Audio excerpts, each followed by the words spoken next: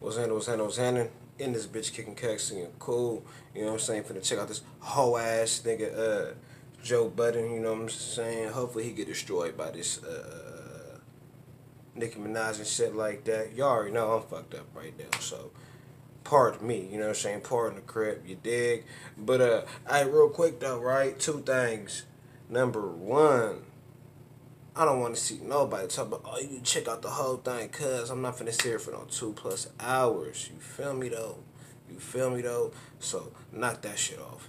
Uh, uh, second thing, I'm starting to see a lot of these niggas who I call my sons copying the crib format, though. You know what I'm saying? It is copying the crib format. Like, that's cool. That's cool. That's cool. Always gotta have some sons around. Always gotta have some. I knew I shouldn't have busted these bitches, my nigga. I knew it. Cause these niggas is coming out here, my nigga, with these beauty supply motherfucking bandanas and shit, nigga, like they really with the shit. But anywho, let's check this shit out, cuz. Drop me a comment, let me know what the fuck you think, and uh, say what's up to my sons for me, you feel me? Do you think something is wrong with me? Yeah, you beat Can up I talk? Can I answer nigga. that? Yes, Fuck. please. Yes. Tell me what. You, oh shit, Barb's in the background. Tell me what. tell, tell, yeah, the bar, this bars behind me. That, them niggas, they gonna need a ride somewhere one day. Oh, whatever. See, you Listen, being tell you me, so tell sarcastic. me, tell me, um, tell me what you think think is wrong with me. Let's let's I hash it out before I we get think to the good I- stuff. All right, let me let me be honest. I think that you, You a are bitch. Jealous of you. a big baby.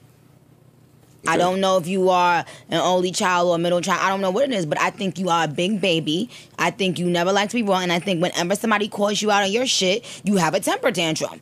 We've seen you have so many temper tantrums, Joe, and it's not, and it's the truth. And people put up with your shit because you are a great rapper.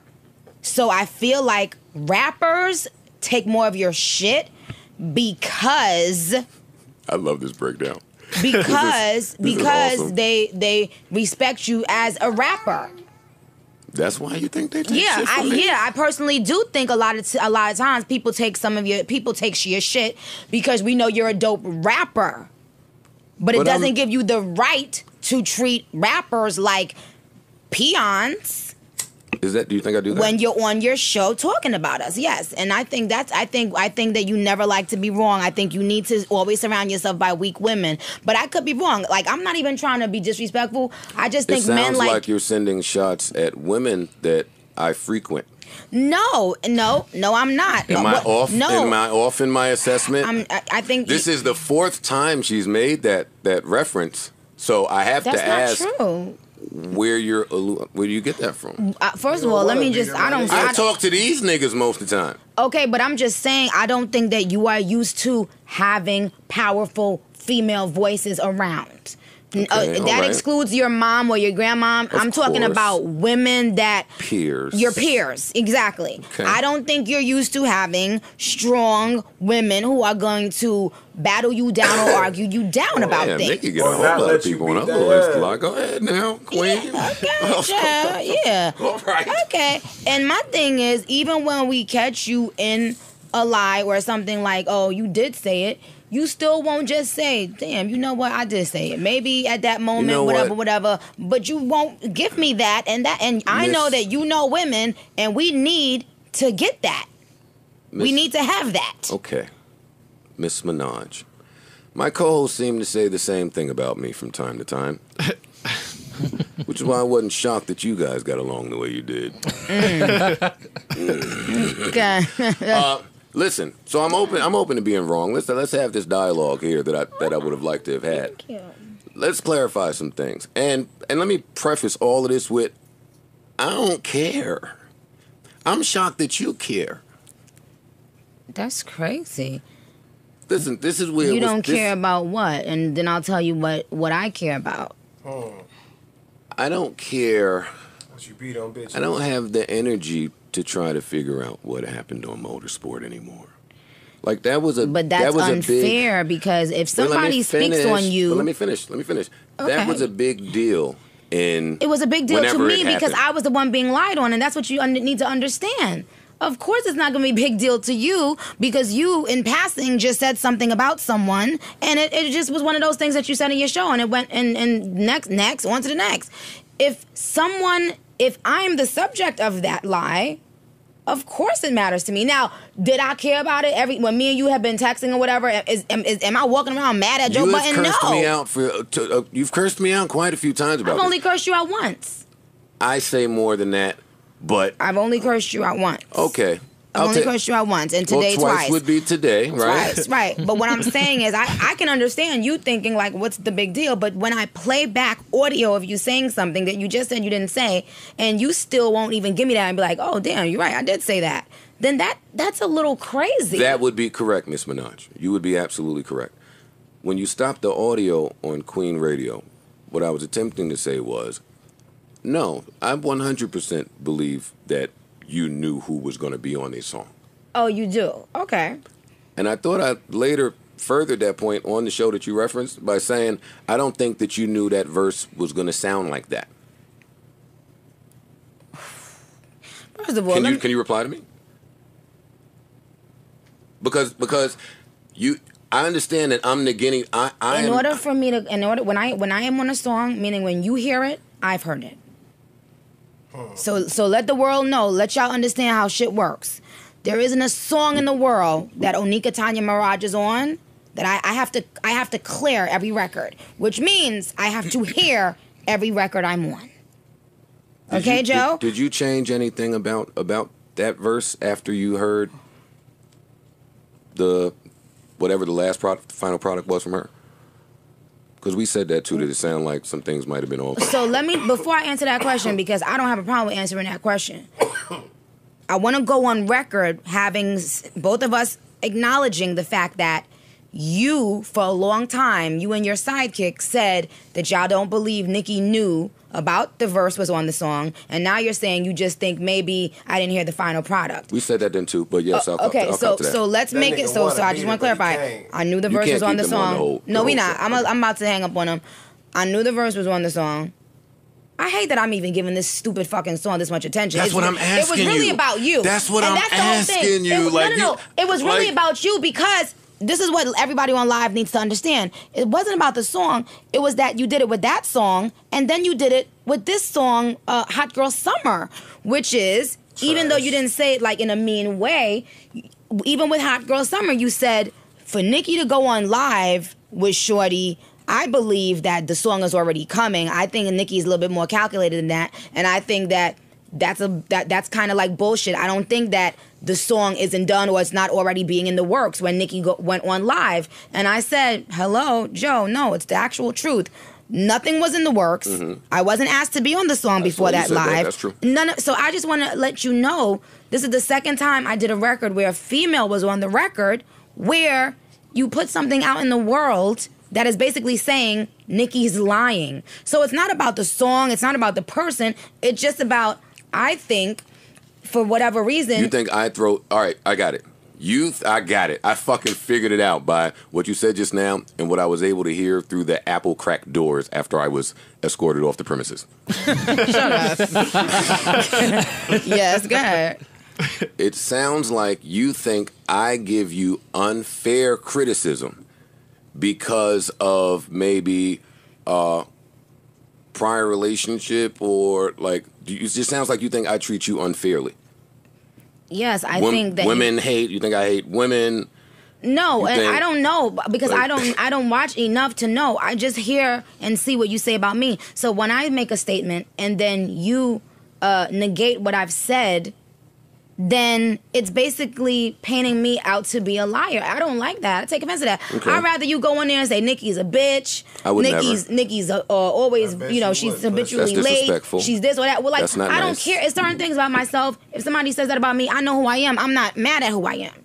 But the lying thing, it does get. I, I am going to take it personal. If two times I did a song with a female and you put out a narrative that wasn't true, and then when I said it's not true, you still don't believe me. So you have to understand that there are people that are going to believe you. Now they're thinking, oh, this psycho bitch just begin up on her platform lying. And I just want you to understand that that's not okay. And when people say, "Oh, you shouldn't care," or "You or are you in, in your feelings," bitch, fuck you too. If you think that I'm in my feelings or I'm whatever you the fuck you think, because I am me. I'm a human being, and I and I have to defend myself because there's nobody else out there defending Onika Tanya Maraj. So I have to defend myself. Your husband will defend you. Don't do that. My husband's gonna You have an defend me, but my husband is not a public that's what I'm figure. So have- all I was saying, team of people that all I was defend you. saying, no, that's not true. All I was saying, I'm about to turn it off because I know this is his, your show and we want to make it exclusive. But I love you guys. You guys are awesome. Yeah, I just I don't care if y'all hate me. I just I, I don't think my, my fans don't hate you either, and that's the point. Yeah, do. I just want to show that like. s- My thing is, I know you guys are going to speculate. That's what that's what media does. You you guys speculate, y'all have fun. It's it is what it is.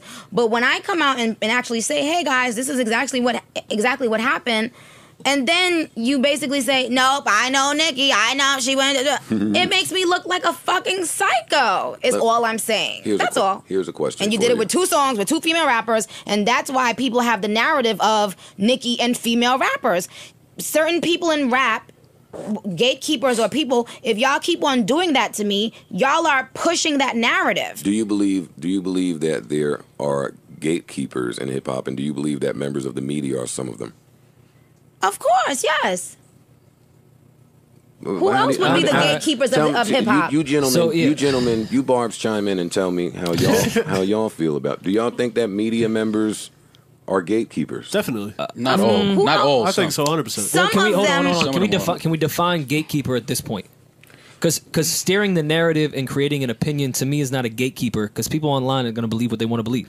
That's not so true. I, I don't know if I could say that's a So you really trying to tell with me that when I- I you really I'm trying to tell me Rory on that, that. when he went out and started saying that thing over and over about the motorsport thing, him and his sidekick, that that didn't make millions of people start believing something untrue about me? as as I much think- as I'd like my friend to have that much influence, I I don't think well, then that's you the are case. psychotic too.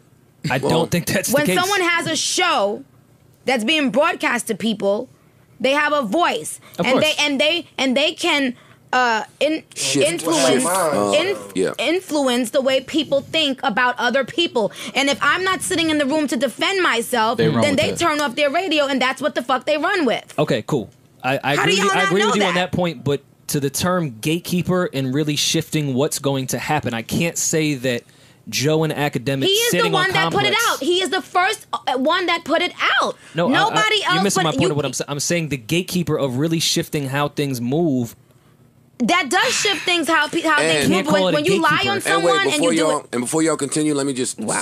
say, How do you not get the point? Gatekeeper, and then y'all can continue this debate.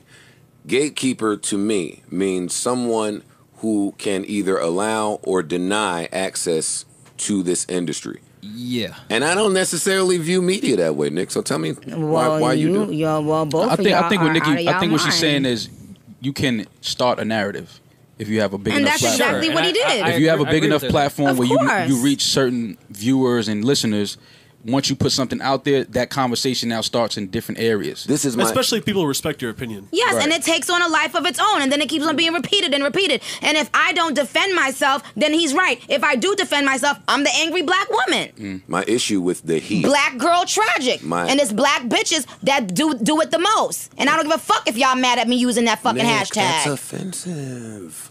The hashtag. Excuse me, you want to talk about ex- uh, offensive? I try You- not to be offensive. You try not to be I'm not offensive. offensive. But see, that's the thing. When you if if I guess it's I guess it's okay to hurt someone if you think they're famous or rich or popular or something like that. It's okay to offend them. It's okay to bully them. But Oh, but everyone else, Nicki we gotta Minaj. walk. Everybody else, we gotta walk on eggshells for. We can't offend this one. We can't offend that one. We can't offend this one. Man, fuck that. I said what the fuck I said. Period. Just like every day you go and do a show, you said what the fuck you said. And you offend many people. You said what the fuck you said. If they tell me I offend them, I apologize. I'm not here to offend. I'm not here to offend. So then why you couldn't just do that back at Queen Radio? I said I said it many times in so many different ways. I'm like, yo, I told the truth. I explained the story over and over. Let me and tell you, why. The he that you, the he is the part that I want to accentuate. You're saying me, and I understand that because I've said a lot. Later in that motorsport debacle, other people said some things. So we weren't just pulling from. Wait, let me finish. We weren't me, me and my uh, what you call him, chipmunk. Me and academic weren't just pulling out of osmosis. Peep, Keyword later hear, on. Keyword can, keyword Yeah, later, later on. Yeah, there we go, later on. You Yeah. and him were the first ones to start the narrative. So how can you not understand that there's an issue? Cardi is not getting her information from academics and myself. What? You know what I mean? Like she's not taking nothing that we say. Like she was involved. She went on. I don't give a fuck about what the fuck she think or who she got information from. I'm talking about you speaking to the public. So do you suggest that we not that we not speculate? No, I said there are things that you speculate about. I said, but once I come out and say, hey guys, this is how it happened. But why can't people not believe you? Not me, but I'm saying why can't people? Do you do, do you relinquish that right when you sign up to be in the spotlight? Don't you relinquish the right of people having to believe you or not? Absolutely, but you also have to know that there are some times that that people like myself will do things like what I did today, which is get fucking sick and tired of it, have had enough of it, and speak to you directly or Nick, or address it At directly. eight ten this morning, I said to Rory, "Listen, Nicki is going to yell at me." Nothing was surprising about what happened in. Good. I'm glad. My whole thing is you seem to be missing the point, and I think it's easy for people to pretend like, oh, it's not that big of a deal. Nobody's paying me any mind. Um, no, you know, I'm I'm I'm doing a show, but I mean, people are making up their own. Y'all know damn well that you are influencing people's opinions when you say things about a particular person over and over, especially when it's the same kind of thing about that person. So that's why I brought up the the hot girl summer song. I was like, mm. here we go again. I'm collaborating with a female again, and there's already from you some some new lie that you're putting out there. You may not realize that it's a big deal, but it is. In Joe's defense, he gave you a lot of credit for your last album on this same platform. Like he's he's also giving you your flowers. Yeah, I, I, listen, man. And and what we talked we talked about it on Queen Radio, and I guess we'll just re-say it here, which you acknowledge as well that you didn't think we were being negative with it. We thought it was a genius way to roll out a song, and that's why because we give your brain credit on how you have put your brand out there, we thought it was a really good way to roll out a record. We thought you and Meg getting on there talking y'all shit was amazing. It, got really all the wasn't that buzz. big of a I deal. didn't say, I, and, and again, I said that y'all didn't say this one in a negative way. Mm. But the first time him and his sidekick did it, it was extremely Well, negative. okay, It was I deal with art extremely shit, negative. So now, when you do something like that to someone, their guards have to go up because now it's You like don't know that I love you. It, but but to I me, said that to you on many of phone calls that we've had in private, and still you treated me so horribly up there. I don't feel like I treated you horribly up there. bad. Did she I feel like I feel like. I feel like you bad. didn't even want to allow me. You didn't even want to allow me my. to. I don't think I ever had a nigga cut my mic off in my life. In my Well- I don't think that you were trying to understand that it's not okay to, and we'll, and I'm just gonna leave it at this because I don't want to beat a dead horse. I feel like well, at a certain level, it gets a little bit personal, and that's what it is. Like sometimes it can feel uh, like a personal attack. I would like I'm- us to start there.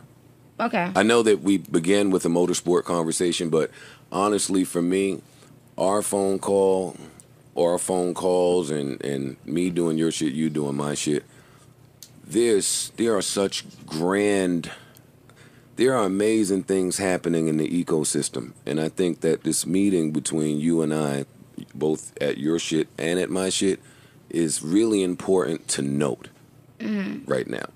My focus mm. isn't on motorsport. My focus isn't on anything of old, to be honest. I think that you're in a different space. I think that And I've had to dig myself out of that space. See, what y'all don't go, understand is, I- I- what y'all don't understand is, behind all that other stuff, it's a human being. And when there's a big hate train, and that people like you and Charlemagne and people like that are we're gonna get to that. spearheading, We're gonna get to that. Mm-hmm. That nigga Joe Budden a bitch, my nigga. I don't take nothing this nigga uh, uh, say serious. I ain't heard pump it up nigga since I watched nigga You Got Served, my nigga. And that's just straight facts, cuz.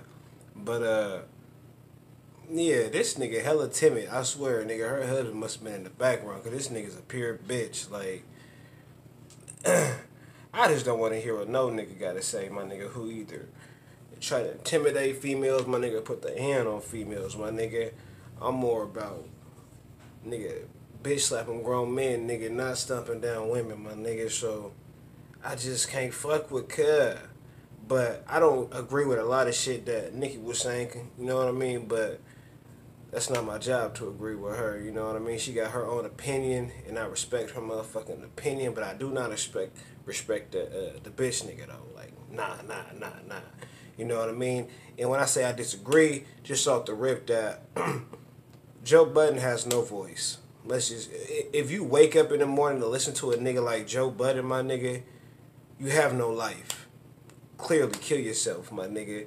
If these weird cornball goofy ass niggas couldn't steer a nigga in the right direction of believing some nonsense, number one, you was never a fan. Number two, you don't have no mind for your own.